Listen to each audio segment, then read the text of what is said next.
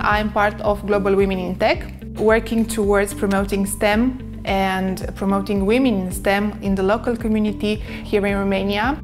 The organization is founded in 2017 we uh, develop certain programs for both young ladies, so basically uh, women who are in the early stages of their career, but also for women who already have a, a path in this field. We need to make sure they have the resources, they have the information at their hand, and they have the training they need there is uh, an unconscious bias actually that boys are more prone to go into the technical fields and, uh, and women into more social uh, domains. It's about the resources and how the school is investing in promoting STEM for the young girls.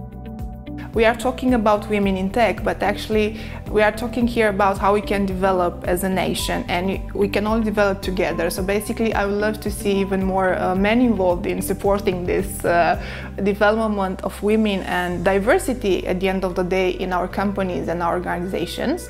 I really believe in practice what you preach. If I wouldn't be encouraging women to thrive and to build their own path and careers, I wouldn't make a real contribution.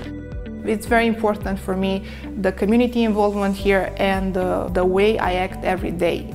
Not uh, only we are seeing uh, even more women entrepreneur or women in a very good position in the field, but also we are seeing changes in the mindset and in the way companies work and embrace diversity. So I, I'm actually looking forward for the future.